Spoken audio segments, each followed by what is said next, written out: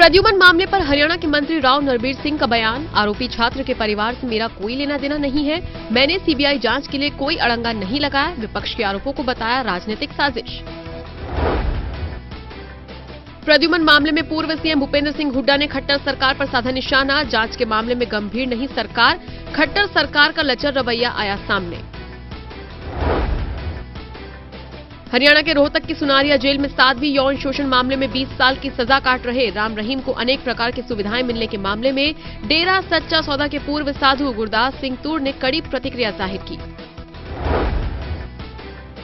गुरदास सिंह तूर ने कहा कि राम रहीम के साथ भी दूसरे कैदियों जैसा ही बर्ताव होना चाहिए और अगर उनको जेल में सुविधाएँ मिल रही हैं तो इस मामले में जज साहब को जाँच करवानी चाहिए।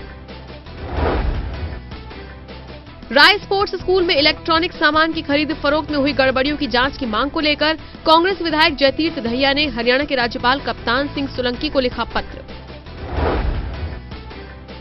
दहिया ने लगाया आरोप कि राय स्पोर्ट्स स्कूल में इलेक्ट्रॉनिक सामान की खरीद फरोख्त पर कैग ने भी सवाल उठाए हैं। उन्होंने राज्यपाल से मांग की है कि इस मामले में उचित कार्रवाई करें। हरियाणा के स्वास्थ्य मंत्री अनिल विज ने पूर्व मुख्यमंत्री हुड्डा पर साधा निशाना, साथ ही अनिल विज ने जाट समुदाय पर भी निशाना साधा।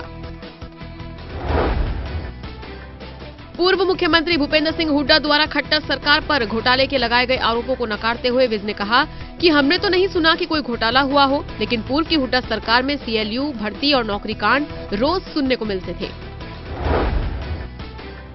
प्रदूषण लगातार खतरे के निशान से आगे बढ़ रहा है। इसके बावजूद फतेहाबाद में किसानों ने कई जगहों पर पराली को जलाया। पराली जलाने से बिगड़े हालात विजिबिलिटी हुई शून्य। बढ़ती धुंध की वजह से लगातार सड़क हादसे बढ़ रही हैं। अंबाला दिल्ली नेशनल हाईवे पर हिमाचल पथ परिवहन निगम के कुल्लू डिपो की बस एक ट्रक से जा टकराई।